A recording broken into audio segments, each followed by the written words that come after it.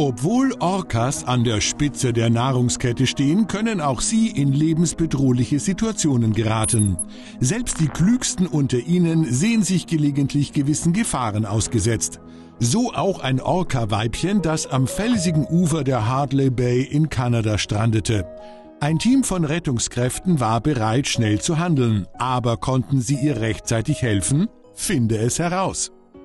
Gestrandeter Orca, die meisten Leute halten den Hai für die größte und gefährlichste Kreatur des Meeres. Dabei sind es die Orcas.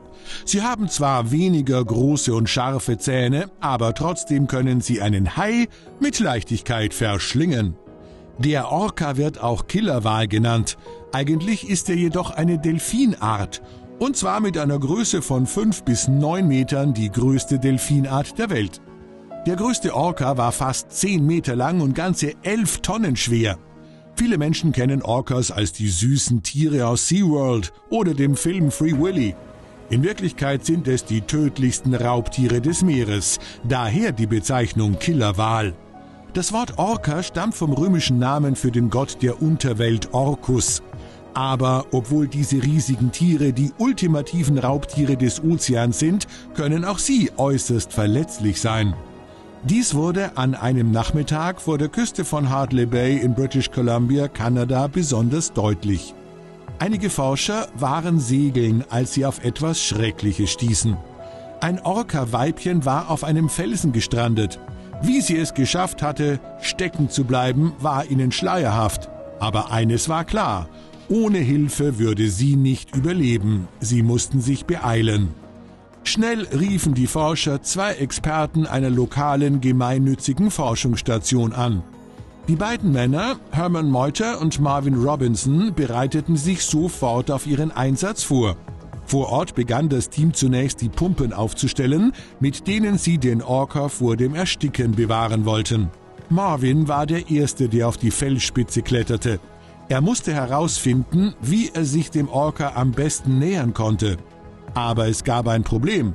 Das arme Tier saß an einer engen Stelle fest, die für die Werkzeuge, mit denen sie sich schnell und effizient retten konnten, unzugänglich war. Herman war Marvin dicht auf den Fersen. Er hatte einen großen Plastikbehälter dabei, mit dem er das Tier mit Wasser übergießen wollte.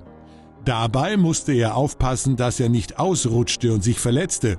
Als weitere Retter das Tier umgaben und mit nassen Decken zudeckten, um eine Dehydrierung zu verhindern, geschah etwas Erstaunliches. Der kleine Orca heulte laut und bald begannen andere Orcas das Gebiet zu umkreisen. Sie weigerten sich von ihrer Seite zu weichen. Das ist nicht verwunderlich, denn Orcas sind sehr soziale Tiere. Die Weibchen leben immer in einer festen Gruppe Sie sind alle miteinander verwandt und folgen gehorsam dem ältesten Tier in der Gruppe.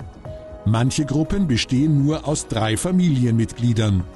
Andere jedoch bestehen aus mehr als 100 Müttern, Tanten, Großmüttern und Töchtern.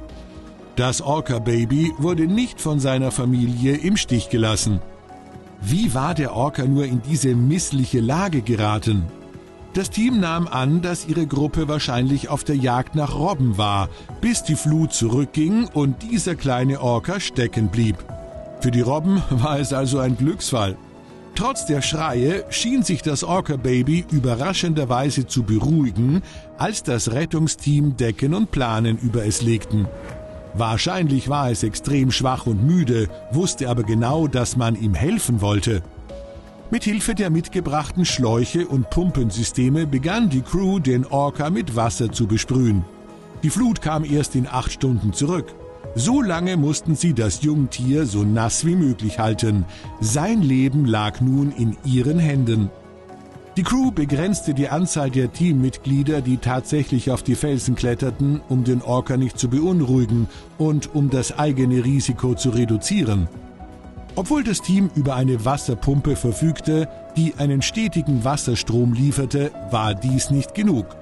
Da Orcas im Wasser leben, musste der Orca auch stetig aus Eimern überschüttet werden. Zu diesem Zeitpunkt war der Orca bereits seit mehreren Stunden über Wasser und das Team arbeitete hart daran, ihn am Leben zu erhalten. Sie warteten inständig auf die nächste Flut.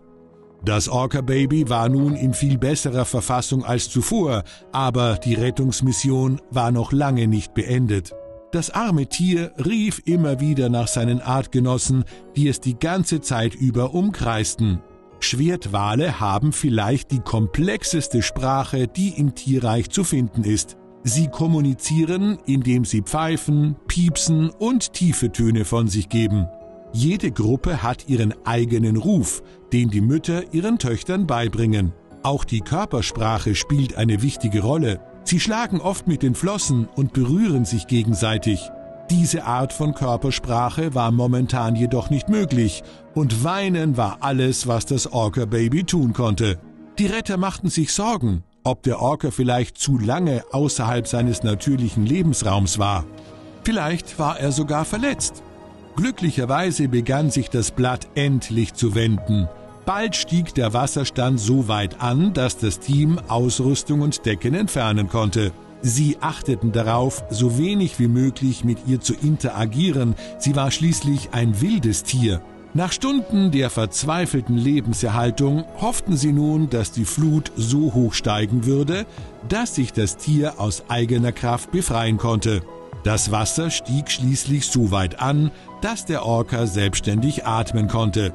Sie war von der ganzen Tortur erschöpft, schaffte es aber glücklicherweise zu ihrer Gruppe zurückzukehren. Ende gut, alles gut. Kyla. Unnötig zu erwähnen, dass Orcas erhabene Geschöpfe sind, doch selbst sie brauchen ein wenig Hilfe, wenn sie sich in einer brenzligen Situation befinden. Sie sind vielleicht die gefährlichsten Raubtiere der Meere, aber es ist noch nie vorgekommen, dass ein wilder Orca einen Menschen angegriffen hat. Nur in Gefangenschaft lebende Orcas sind meist etwas unfreundlicher. Einige haben sogar mehrere Betreuer schwer verwundet und getötet. Forscher sagen, das läge vor allem am Stress, den Orcas in Gefangenschaft erleben. In Parks wie SeaWorld sind Orca-Shows eine Sensation. Natürlich müssen die Tiere dafür in Gefangenschaft gehalten werden. Die meisten dieser Orcas werden nicht im Meer gefangen, sondern schon in Gefangenschaft geboren. Daher ist es nicht mehr üblich und sogar verboten, wilde Orcas zu fangen. Zum Glück. Aber auch die Orcas, die in Wasserparks geboren werden, leiden sehr darunter. Glücklicherweise wird die Zucht von Orcas immer seltener. Auch SeaWorld kündigte 2016 an, keine Orcas mehr zu züchten und die Shows langsam auslaufen zu lassen. Dies war unter anderem dem weltberühmten Dokumentarfilm Blackfish zu verdanken. Der Film zeigt das grausame Leben der Orcas in Wasserparks. Der Hauptprotagonist, der Orca Tilikum, starb vor einigen Jahren im Alter von 35 Jahren in SeaWorld. Das Tier erlangte weltweite Bekanntheit, nachdem es im Sommer 2010 die Orca-Trainerin Dawn Branchew tötete. Allein seit Anfang 2017 sind vier weitere Orcas in SeaWorld Parks gestorben. Auffallend ist, dass all diese Tiere in sehr jungem Alter starben. Ein anderer berühmter Orca namens Kyla wurde zum Beispiel nur 30 Jahre alt. Entgegen den Behauptungen von Parks wie SeaWorld, dass Orcas nicht älter als 40 Jahre werden, wurden in freier Wildbahn schon Orcas von 60 Jahren und älter beobachtet. Laut Experten war der älteste Orca der Welt über 100 Jahre alt. Ihr Spitzname war Oma. Das verkürzte Alter ist ein deutlicher Hinweis auf den schlechten Gesundheitszustand der Tiere in Gefangenschaft. Ein 30-jähriger Orca ist in der Blüte seines Lebens, sagte Naomi Rose, Meeresbiologin am Animal Welfare Institute in Washington. Orcas werden durchschnittlich 50 Jahre alt, aber in freier Wildbahn können sie deutlich älter werden. Natürlich geht es vielen anderen Tieren ähnlich. Denk an Belugas, Delfine, Seelöwen, Walrosse und Pinguine. All diese in Gefangenschaft lebenden Tiere werden nie frei im Meer schwimmen können, wo sie hingehören. Kyla war der 42. Orca, der bei SeaWorld starb. Sie wurde als Teil von SeaWorlds Zuchtprogramm in Gefangenschaft geboren, ein Programm, gegen welches zahllose Tierrechtsgruppen seit Jahren ankämpfen. Sie wurde 1988 im SeaWorld San Antonio in Texas geboren.